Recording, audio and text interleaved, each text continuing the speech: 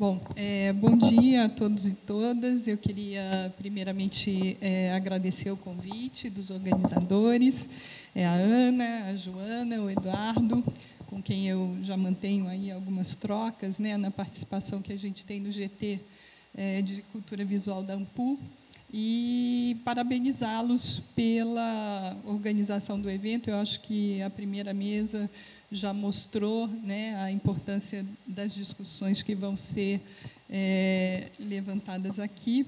E é um prazer estar na FAO. Eu fiz meu doutorado é, na FAO, embora a arquitetura não faça parte das minhas pesquisas né, cotidianas, mas é sempre um farol trabalhar no museu tendo essa base de formação na arquitetura. Né? A arquitetura ela traz né, uma, uma formação é, ampla, humanista, é, que me ajuda muito nos desafios que eu enfrento é, no museu. Então, é uma satisfação realmente estar aqui. E estar com a professora Ana Maria Beluso, né, é, como mediadora dessa mesa, uma docente que eu acompanho desde o início, quando entrei no museu, as pesquisas que ela realizou é, foram é, serviram de lastro, né, para muita coisa que a gente faz ainda hoje no museu, né? Isso é muito importante. Eu me lembro particularmente é, da sua pesquisa sobre o Valdemar Cordeiro, que me inspirou muito e que foi realmente um marco para mim é, de rigor e de, de trabalho com acervos, né? E agradeço ao Lauci, né, que está no cotidiano ali, que dá o suporte no dia a dia nas nossas pesquisas. Bom, é, atendendo à demanda dos organizadores, eu preparei uma apresentação que é, é muito em cima da minha prática de pesquisa. Né? Eu vou falar do projeto atual que eu estou desenvolvendo é, de, no âmbito aí do projeto temático que já foi comentado aqui que é, trabalha justamente é, a relação entre o ciclo curatorial e é, a produção de conhecimento. Esse, pro, esse projeto está sendo coordenado pela professora Ana Magalhães, como já foi comentado na mesa anterior, a professora Solange também é, é, é, é uma das docentes integrantes, e a gente atua nesse projeto também com o Museu de Zoologia, é, o Museu de Arqueologia da USP, além da Unicamp. Então, tem sido um aprendizado muito grande é, perceber e confrontar né, as práticas curatoriais é, nos diferentes, nas diferentes tipologias de museus. E a Ana deve falar sobre isso é, daqui a pouco, mas é importante é, esclarecer que, é, no âmbito do museu, especificamente desse projeto, a gente entende a curadoria não como é, o sentido é, leigo tradicional, né, de que a curadoria seria a curadoria da exposição, né, mas a curadoria como processo curatorial que envolve é, toda uma cadeia operativa que vai desde é, do momento da doação, incorporação de acervo, passando pela conservação, catalogação, documentação, até a extroversão, que seria a última etapa onde se encontra a curadoria no seu sentido tradicional de organização de exposição. É, então, é nesse sentido que a gente trabalha a ideia da produção de conhecimento, é, ligado ao processo curatorial. Né? Então, essa, esse segmento que eu vou apresentar aqui é um dos segmentos do projeto temático, né? É, e que leva em conta a curadoria dentro dessa, dessa perspectiva.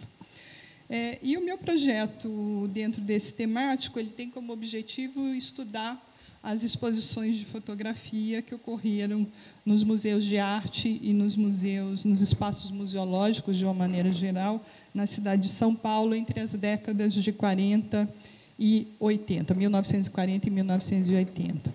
E a proposta é investigar os modos de exibição pública da fotografia e dos discursos que legitimaram a sua inserção nos espaços institucionais, com ênfase nos museus. Né? A minha linha de pesquisa no MAC é, é essa relação justamente entre arte e fotografia, e ela vem se desdobrando em diversos projetos aí ao longo da minha trajetória. E esse projeto ele é um desdobramento de uma pesquisa anterior que eu realizei também num temático da FAPESP entre 2005 e 2009, onde eu busquei compreender o processo de assimilação da fotografia pelo Museu de Arte Contemporânea da USP e que me levou a investigar também é, o modo como é, isso ocorreu no MAN, aqui de São Paulo, e na Bienal, é, tendo em vista que a história dessas instituições ela, ela é inseparável. Né? E foi a partir daí que eu identifiquei as exposições como lugares privilegiados, não só para a visibilidade pública da fotografia enquanto arte, mas também para a tentativa de legitimação de determinados discursos e construção de certas narrativas que buscaram inserir a fotografia no campo da história da arte.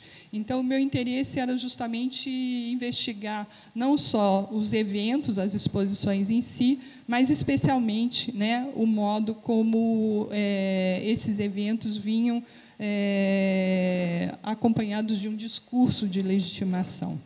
E o recorte temporal ele se justifica pela necessidade de ampliar o conhecimento histórico acerca da presença da fotografia no circuito de arte, né, entre 1940 e 1980, é, e pelo seguinte, com os seguintes marcos, né? É, 1949 é, a, é, o ano em que a fotografia entra pela primeira vez no Museu de Arte, até segunda ordem, né, até que, enfim, surjam outras, é, uma outra documentação. É a primeira exposição de fotografia considerada como manifestação artística que acontece no MAN, né, que foi a exposição Estudos Fotográficos do Thomas Farkas. E eu fecho com o final da década de 80, que é um momento em que você percebe que é, cessa essa discussão, pelo menos como é, algo tão proeminente, sobre a legitimidade, legitimidade ou não da fotografia estar presente não só nas exposições, como nos acervos dos museus. Então, me parece um período é, bastante crítico nesse sentido, de mudanças muito aceleradas, e que também coincide com a passagem do moderno para o contemporâneo, né, no sentido mais amplo das artes, e que marca, é, especificamente em relação à fotografia, essa integração da mídia fotográfica às poéticas contemporâneas. Né, e isso a gente vai ver que está muito bem marcado é, no acervo é, do MAC USP. E a história das exposições, né, só para é, situar, quer dizer, hoje se constitui praticamente numa área né, de pesquisa que conta com um número crescente de pesquisadores. Né? Quer dizer, alguns consideram que a história das exposições seria uma alternativa à história da arte, outros consideram que a história das exposições estaria é, no, no próprio é, no próprio contexto da história da arte, que seria uma, uma estratégia de renovação né, das, suas, das suas investigações. E a peculiaridade desse tipo de abordagem é buscar é, entender as obras não como entidades autônomas, descontextualizadas e nem, é, é, enfim, portadoras de sentidos a priori, né? Ao invés disso, a história das exposições busca colocar em evidência a complexa rede de relações que envolve as obras, especialmente no que diz respeito à sua circulação, recepção, consumo e agência. Né? Então, isso é, é, o que diferencia né, é, os estudos é, dessa natureza. E, apesar dos estudos em história das exposições de arte estarem em plena expansão, ainda são muito poucos os estudos é, voltados especificamente para as exposições de fotografia, e isso não só no Brasil. E depois de, daquele primeiro projeto que eu comentei, né, em que eu estudei a assimilação da fotografia pelo MAN, pela Bienal e pelo MAC, eu percebi, né, identifiquei alguns problemas né, que dificultam é, o desenvolvimento de pesquisas em história das exposições de fotografia.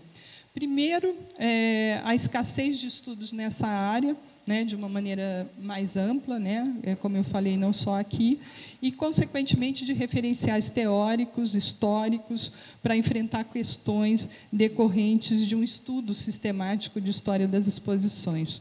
Segundo, a ausência desse tipo é, de estudo também no Brasil e as especificidades né, da assimilação da fotografia pelos museus no nosso meio. Né? Quer dizer, a fotografia como modalidade artística, ela só vai começar a ser exposta nos museus no Brasil a partir da fundação dos primeiros museus modernos, né, que isso já no final dos anos 40, e é, o processo de institucionalização propriamente dito, ou seja, de ingresso da fotografia nos acervos, porque não necessariamente as primeiras exposições geraram acervos, né, é, vai acontecer a partir dos anos 70.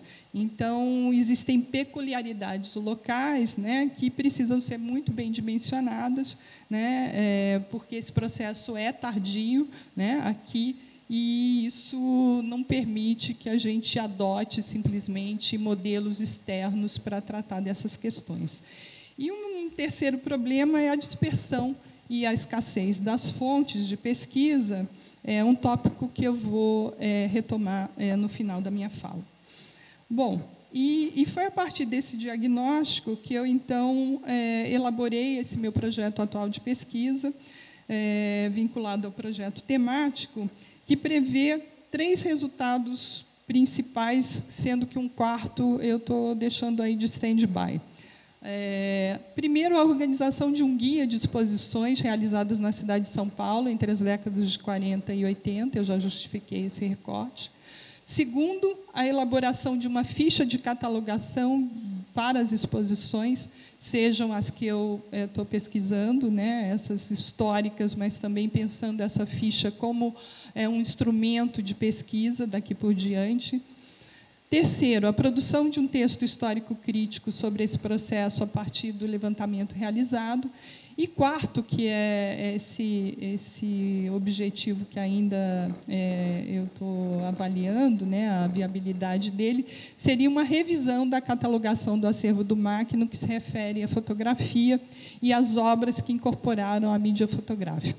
É, isso seria bastante importante, nem que fosse, num primeiro momento, pensar metodologias e parâmetros para que isso acontecesse, porque o MAC, como Museu de Arte Contemporânea, nunca contemplou as mídias específicas né, no seu processo de catalogação, né, nem nas exposições, enfim. É, então, isso significa que a fotografia ela foi catalogada, documentada, a partir de critérios gerais que não necessariamente contemplam as suas especificidades. Né? E isso hoje né, essas especificidades hoje elas se ampliaram enormemente né, com o advento das tecnologias digitais e tudo mais. E vocês vão ver que o acervo do MAC, especificamente, ele é, se caracteriza por esse hibridismo né, e pela presença da fotografia no universo das poéticas contemporâneas e não é, simplesmente como obra bidimensional autônoma. Né. Então, eu vou mostrar um pouco desse levantamento, porque eu acho que é, um pouco das obras, enfim, que eu acho que dá a dimensão é, dos desafios que são colocados por essa pesquisa. Então, aqui, muito é, resumidamente, eu coloquei um trecho aí de 63, que é o ano de fundação do museu, até 76. É, o professor Walter Zanini, que foi o primeiro diretor do MAC, ele sai do MAC em 1978 então, eu mostrei aí justamente as exposições de fotografia realizadas na, nessa primeira gestão. Então, é, a gente tem uma primeira exposição, que foi Beleza de Pedra, da Lenita Perrois, eu vou falar daqui a pouco, em 69, que não gerou acervo. Em 1970, a gente teve Cartier-Bresson Fotografias Recentes, uma exposição enviada pelo MoMA de Nova York, Museu de Arte Moderna de Nova York, com a curadoria do então é, curador do Departamento de Fotografia, o John Sarkowski. Em 71, É, a gente teve fotografias, fotógrafos de São Paulo, que também foi chamado de nove fotógrafos de São Paulo, e a primeira aquisição de fotos para o acervo, né, da Morrim Bisiliá, Cristiano Mascaro e Cláudio Andujá. E é, essa primeira aquisição, assim como é, a criação de um departamento específico para fotografia, foi decorrência justamente do sucesso da exposição do Cartier-Bresson, que é, foi um marco naquele momento né, do acesso a um determinado tipo de fotografia moderna, é, tudo bem de uma maneira tardia, mas que naquele momento suscitou né, uma grande recepção por parte da imprensa, por parte dos intelectuais e, e dos fotógrafos. Em 72, a gente tem o Fotógrafo Desconhecido, que eu vou comentar daqui a pouco, uma exposição enviada por Rochester, pelo Museu é, da Kodak, né, fotógrafos contemporâneos. Em 74, a gente tem uma nova exposição enviada é, pelo MoMA, também com curadoria do Sarkowski, Braçaí. É, uma exposição da Ildegard Rosenthal, da, é uma outra exposição de fotografia experimental polonesa, uma exposição particularmente importante na história do MAC, que eu também vou comentar. E, por fim, novos e novíssimos fotógrafos e multimídia 3. Então, eu vou apresentar é, um pouco da documentação que eu consegui é, levantar no MAC acerca dessas exposições. E, nesse ponto, quer dizer, eu queria é, dizer do grande potencial do arquivo e da biblioteca do MAC para a realização desse estudo. Né? Quer dizer, de todos os museus que eu tenho frequentado e arquivos, né, é, especialmente o MAN, o MASP a Pinacoteca, o MAC é, sem dúvida nenhuma, aquele museu que é, detém a documentação mais completa e mais abrangente sobre as exposições é, do seu acervo. Né, e eu atribuo a isso, talvez, né, isso ainda é uma hipótese, ao próprio interesse do professor Walter Zanini né, nessa, nessa permanência dessa memória da arte contemporânea. E eu destaco, né, é, como já foi comentado aqui pela Lauci, os boletins informativos, né, que foram é, acompanharam toda a gestão e que é uma fonte de pesquisa é, muito rica, né? Esses boletins eles eram mimeografados, né? É, e são realmente cada vez que a gente lê a gente se dá conta de alguma coisa que a gente não tinha visto antes. Os dossiês de exposições, né? Que são pastas é, com uma quantidade de informações muito preciosas né, que vão desde a documentação fotográfica da maioria das exposições até aquilo que a Lauci também comentou, né, que era prática do museu naqueles anos, é, de fazer, de contratar serviços de clipping. Né? Talvez as novas gerações não saibam o que é isso, mas era você comprava, você contratava empresas que é, recortavam as matérias de jornal e colavam num papel com cabeçalho e tudo mais. Então, isso, é, embora hoje a gente tenha né, esses bancos de, é, de periódicos online, é, as hemerotecas, a hemeroteca da Biblioteca Nacional, que é uma fonte de pesquisa incrível né, para quem trabalha com história das exposições, mas é um disparador ali né, de você é, perceber momentos de maior adensamento de, dessa discussão que eu estou buscando nos jornais, enfim. É uma, é uma documentação bastante rica. É, e a partir dessa cronologia, então eu vou correr um pouco, porque o meu tempo está avançando, né, e a gente se empolga, e vou mostrar um pouco do potencial dessa documentação. Então, aqui a gente tem é, fotos da exposição Beleza de Pedra, da Lenita Perrois, de 69, e essas fotos, essa documentação como um todo, ela fornece é, informações para os mais diversos tipos de estudo. Né? O design é, dos painéis, né? o tipo de organização do espaço expositivo, a expografia, como a gente chama hoje, né? É, podem ser apreendidos dessa documentação. Aqui a exposição do Cartier-Bresson. É, aqui uma foto é, que foi doada pelo Bresson por ocasião dessa exposição.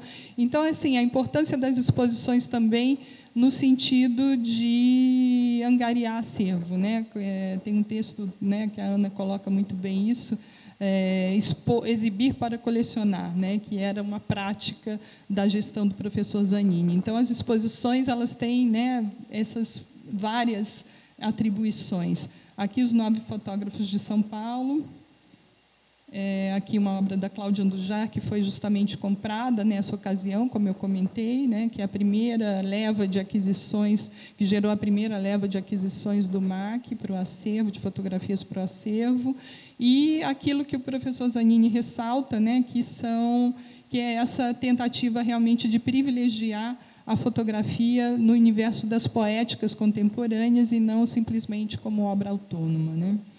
Aqui é uma exposição que eu considero particularmente importante na história do MAC e na história dessa discussão sobre a fotografia artística, que é o fotógrafo desconhecido, que foi uma chamada pública que o museu fez para fotógrafos que não tivessem ainda uma carreira estabelecida.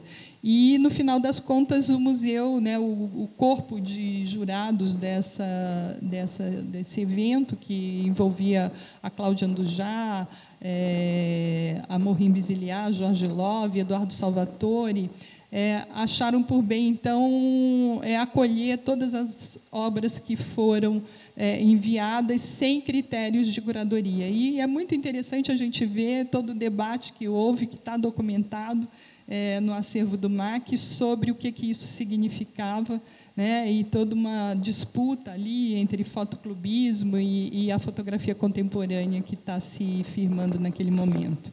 Aqui é uma outra vista da exposição, aqui é a exposição do Braçaí. Aqui a outra exposição que eu considero também muito importante, que é a fotografia experimental polonesa. Atualmente a gente tem várias obras dessa é, coleção de 39 é, obras que foram doadas ao MAC pelo consulado polonês depois dessa mostra, e que, da, e que eram artistas conceituais que hoje são muito é, reconhecidos na Polônia, né, e que mostram justamente esse momento né, em que a fotografia está, de fato, é, integrando a percepção e as questões colocadas pelos artistas contemporâneos. Né? Ela sai da, do seu formato bidimensional e ganha a espacialidade, né, como a gente pode ver em algumas dessas obras. É, em 74, o professor Zanini é, organizou a exposição da Edgar Rosenthal, Edgar era, tinha, né, era um fotógrafo imigrante que trabalhou para a imprensa durante muito tempo e ela deixa de, de, produzir no final dos anos 40 e era praticamente desconhecida até aquele momento.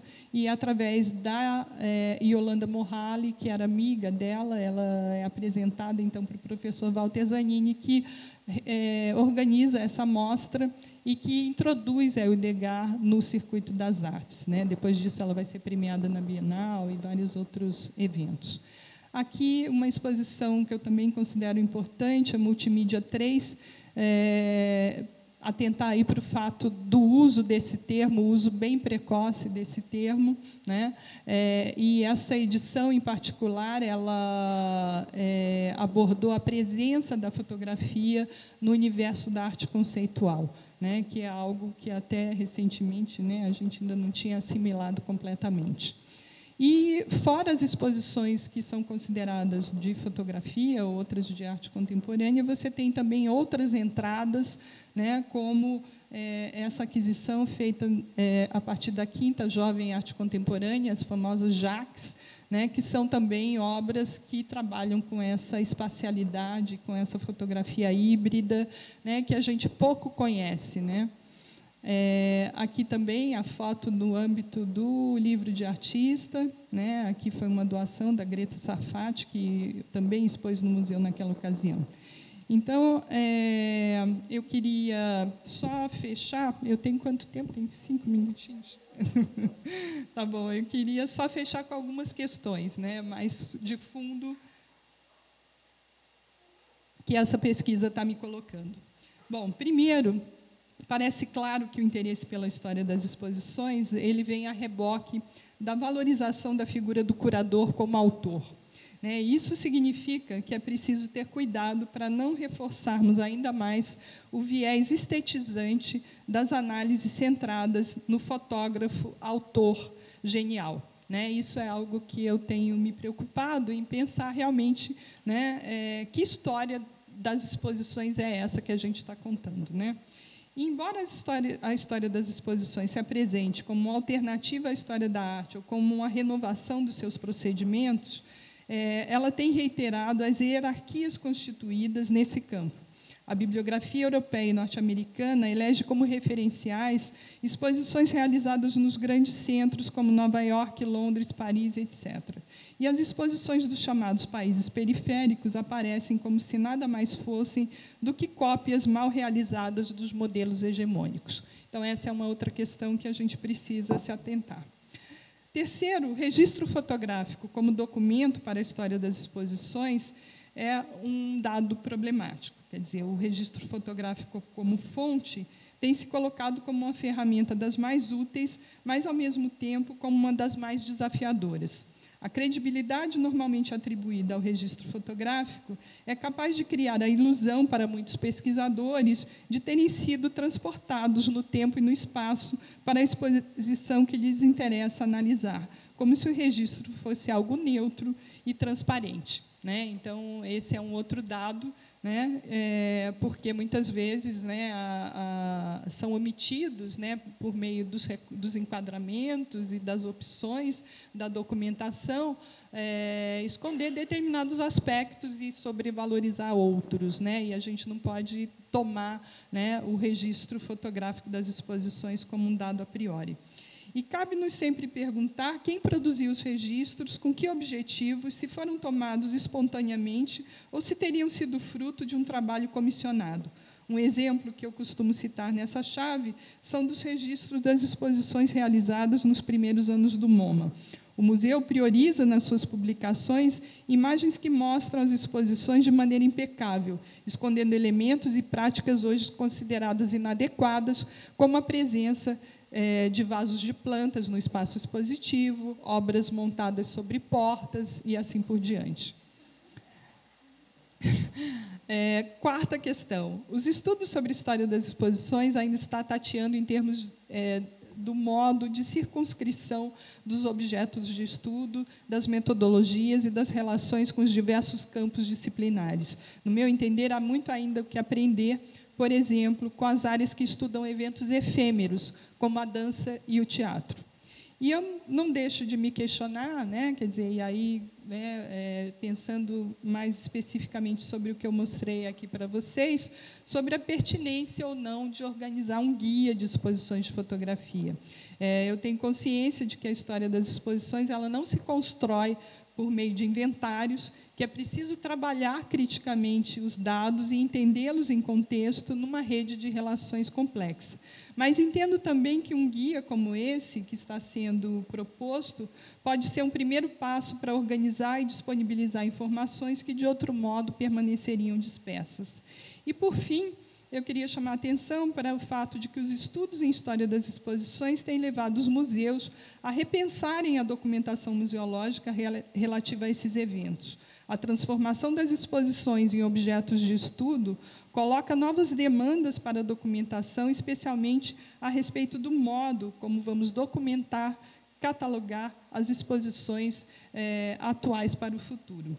Daí a proposta desse projeto em definir metodologias e protocolos para catalogação e documentação é, do material é, do arquivo e da biblioteca do MAC. Quer dizer, é, eu, enquanto pesquisadora, mas principalmente enquanto curadora do MAC, né, é, tenho, eu, eu, considero que tenho essa obrigação né, de pensar né, o processo curatorial de uma maneira mais completa, né, e que é diferente do curador de exposição que procura o nosso acervo né, para extrair informações pontuais é, das quais ele necessita. Né? Então, só para fechar, eu queria, eu trouxe uma citação aqui do professor Walter Zanini, quando ele comenta né, é, a, a, natureza do acervo é, do MAC em relação à fotografia, e ele diz o seguinte: havia uma certeza da importância da mídia fotográfica nos anos 70. Né? A entrada da fotografia no museu veio no bojo da explosão dos suportes tradicionais. De um lado estavam os fotógrafos clássicos e de outro a desmaterialização. E é isso justamente que a pesquisa tem encontrado, né? quer dizer, é uma síntese aqui né, que eu tenho agora conseguido desdobrar através dessa pesquisa. Obrigada.